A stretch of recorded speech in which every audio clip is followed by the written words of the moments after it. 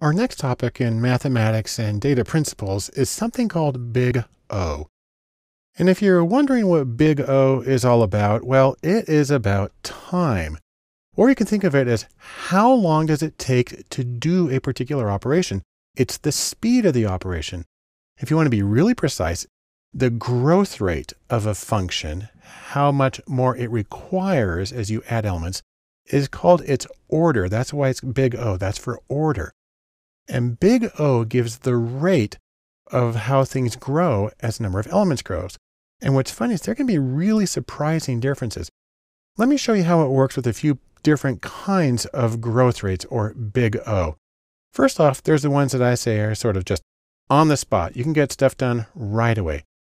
The simplest one is O1, and that is a constant order, and that's something that takes the same amount of time no matter what. You can send out an email to 10,000 people, just hit one button. It's done. The number of elements, the number of people, the number of operations, it just takes the same amount of time. Up from that is logarithmic, where you take the number of operations, you get the logarithm of that, and you see it's increased, but it's really only a small increase and it tapers off really quickly. So an example is finding an item in a sorted array. Not a big deal. Next one up from that. Now, this looks like a big change, but in the grand schemes, it's not a big change. This is a linear function where each operation takes the same unit of time. And so if you have 50 operations, it takes 50 units of time. If you're storing 50 things, it takes 50 units of space. So find an item in an unsorted list. It's usually going to be linear time. Then we have the functions where I say, you know, you better just pack a lunch because it's going to take a little while. The best example of this is what's called log linear. That's where you take the number of items and you multiply that number times the log of the items. And an example of this is something called a fast Fourier transform, which is used for dealing, for instance, with sound or anything that's over time. You can see it takes a lot longer. If you got 30 elements, you're way up there at the top of this particular chart at 100 units of time or 100 units of space or however you want to put it. And it looks like a lot, but really that's nothing compared to the next set where I say, you know, you're just going to be camping out. You might as well go home. That includes something like the quadratic. You square the number of elements. And see how that just kind of shoots straight up. That's quadratic growth.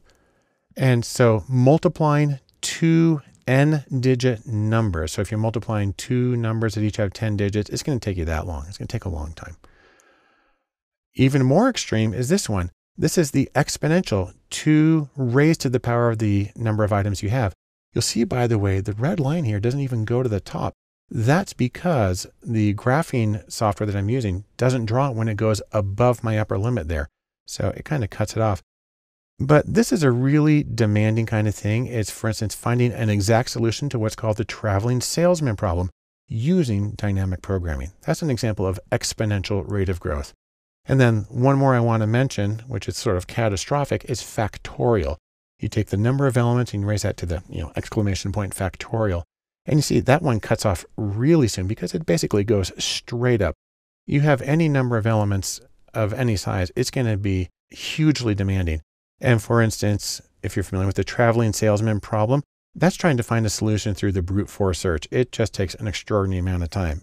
And so, you know, before something like that's done, you're probably just going to, you know, turn to stone and wish you never even started. The other thing to know about this is not only do some things take longer than others, some of these methods, some functions are more variable than others. So for instance, if you're working with data that you want to sort, there are different kinds of sorts or sorting methods. So for instance, there's something called an insertion sort. And what you find is that on its best day, it's linear. It's O of n. That's not bad. On the other hand, the average is quadratic, and that's a huge difference between the two.